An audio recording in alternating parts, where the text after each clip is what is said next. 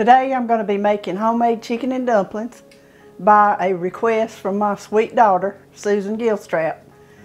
Um, this recipe that I'm going by to make these dumplings was handed down to me from my sweet aunt, Pearl Vanderford Crocker, many, many years ago. And I've treasured this because it's real simple to make and another recipe that's time consuming.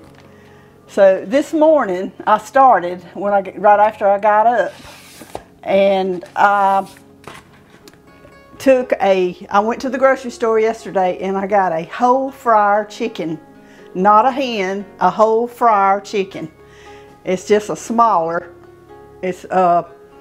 But anyway, use that, and you wash it real good, just like if it was a little baby. Wash everything on it, and sometimes it has little uh, pouches of gizzards, liver, and all that, ugh, all that stuff that's up inside of the chicken. Make sure you take that out. Make sure you take that out. Okay, once you get it washed and all, I have a big boiler right here. About this size is what I use because you want to get, use all the broth from the chicken. So this morning about 9.30, I put on that whole fryer and I let it uh, cook in this pot. I put it in there and I covered it up with water and you want to have more, a lot more water than you do chicken. You get it to boiling to start with and then once it starts boiling you can cut it down to medium. And so it cooked from about 9.30ish until about 3 o'clock today, real slow. And I've got some rich stock. And so I, am keeping it on warm right now until I get my dumplings rolled out. Okay.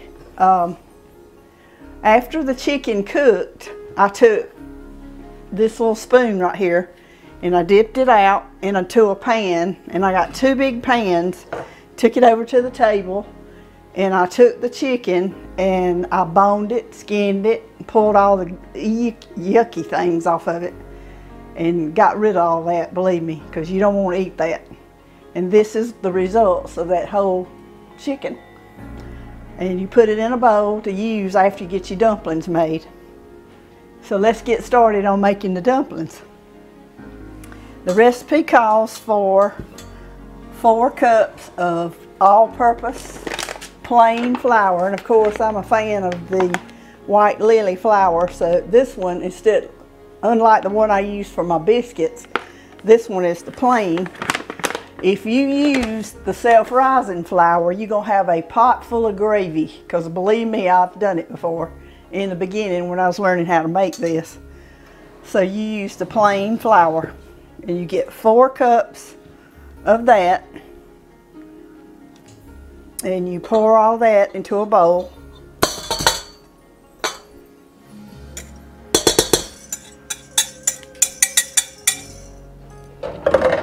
Take your whisk and just go around, make sure there's no big lumps in it.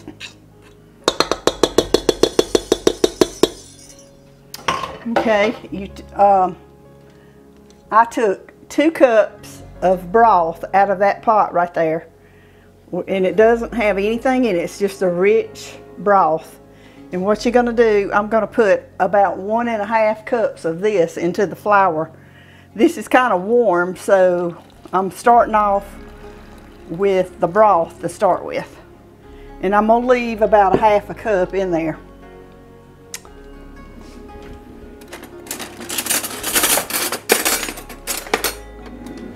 Okay, you take a spoon and you, you can mix this.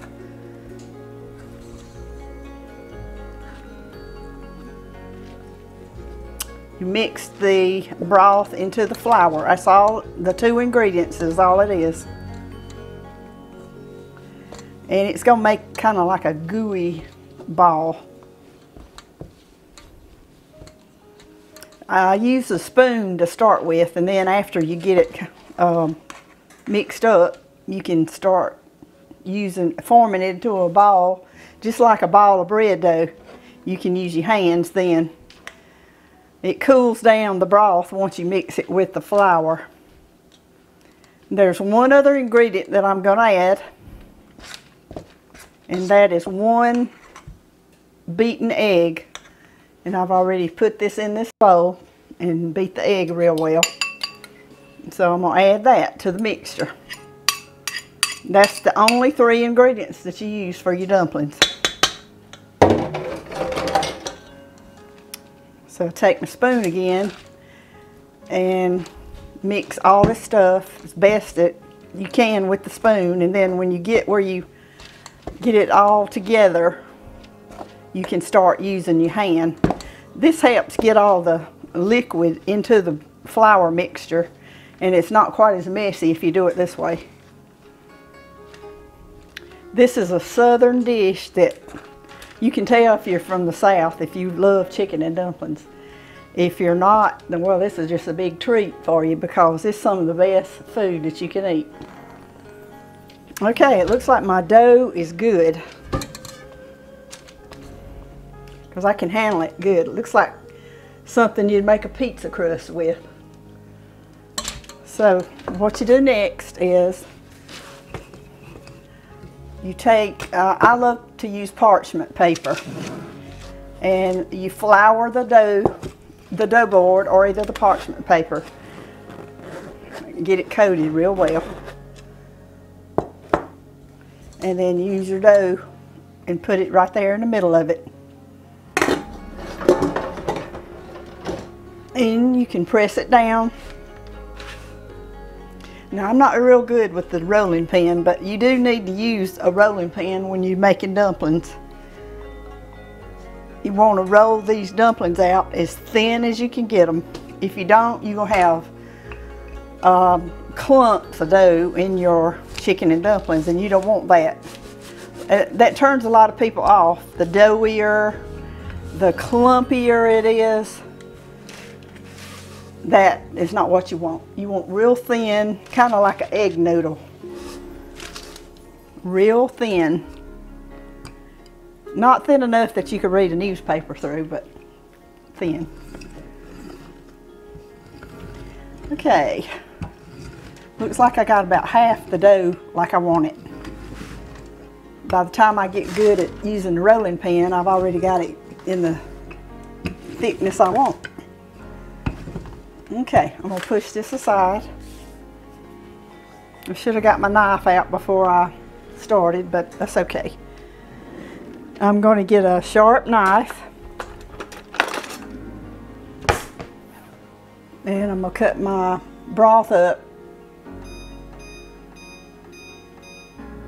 on medium heat and let it get real hot. It's already warm, but okay, from the part I've been rolling out, you just start cutting. And I like to make them in little small strips. You know how the egg noodles look when you go to the grocery store and get a bag of egg noodles. You can, whichever, ever how wide you want to use them is what you need to cut them. No certain way. But Mine looks like it's maybe about a half inch to a three-fourths of an inch wide. Okay, once you get them all cut this direction, you start cutting them this way.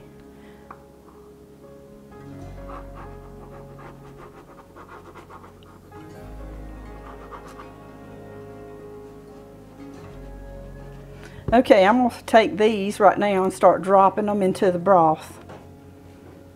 And the, the broth is barely, looks like barely boiling a little. It's bubbling. So you start dropping them in there and they, if you drop them separate like that, they will not stick. You're going to cook your uh, dumplings first. You keep your chicken set aside. You don't add your chicken until all the dumplings are cooked. This is the last little bit of my dumplings. I've used every bit of it. So I'm putting the last little bit, the little thin squares. Take my wooden spoon and I'm gonna stir around in the pot. They're looking good. The broth is getting thicker. I'm gonna let, once, once you get all the dumplings in, you, you can cook them slow for probably about 10 minutes. So I'm gonna cut it down to medium. All right, I have a whole pot full of chicken and dumplings. Getting ready to add the chicken. But first, I'm gonna put about almost a half a stick of butter. And that's for flavor. And I'm gonna put a little bit of pepper around the top. Okay, after you put the chicken in the in the dumplings and mix it with the dumplings, the broth, the butter, a little bit of pepper, you're gonna add a little bit of milk. And today I've got carnation milk, but you can use either carnation or pet milk. And just put enough in it to give it a little color. It makes it creamier looking. Is all that's for. You don't, it's not necessary, but it gives it a little creamy look. So that's why I use that. Okay, looks like it's all mixed up. So I'm gonna start adding the chicken to the dumplings. And you just pour it over into there.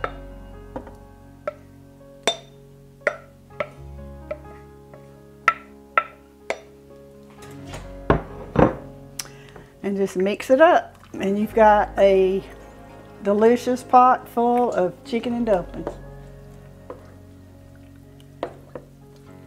Hope everyone enjoyed this today.